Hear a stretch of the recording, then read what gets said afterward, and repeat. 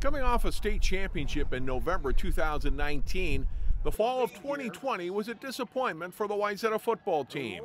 The Trojans finished the pandemic shortened season with a 2-5 record, but hope to learn from that experience. Well, I think we always got a chance to learn and find a way to learn and get better.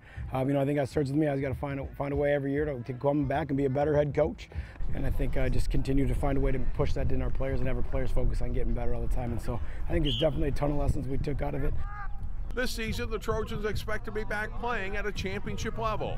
A large and talented senior class should help the team be among the state's best in Class 6A. We got a heavy senior class this year, and I think we're all pretty tight. We're all friends with each other. I mean, we're all just trying to make each other better, and I think we'll definitely be able to lead to something great. My confidence in this team has built exponentially over the time as we went from just lifting and walkthroughs and stuff like that until we put the pads on. We've been cracking every week, getting better. I think this year we're gonna we're gonna come hard at at teams. I feel like we have a really good shot this year. We got a lot of talent and we got a lot of size, so it's gonna be a good year for us. Among the key players back are returning starter Ryan Harvey at quarterback. Julian Diedrich moves from wide receiver to running back. And Drew Berkland shifts from safety to wide receiver. Brett Kelzenberg and Jackson Nelson anchor a veteran offensive line.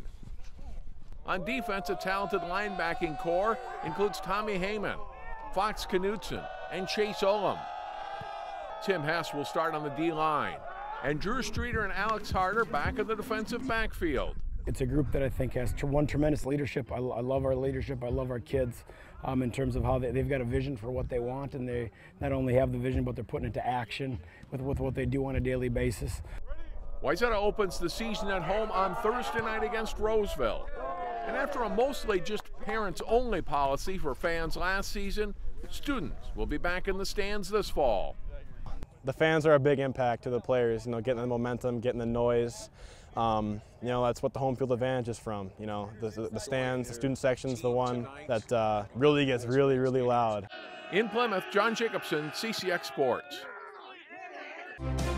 Find more prep sports games and highlights at ccxmedia.org and follow us on social media.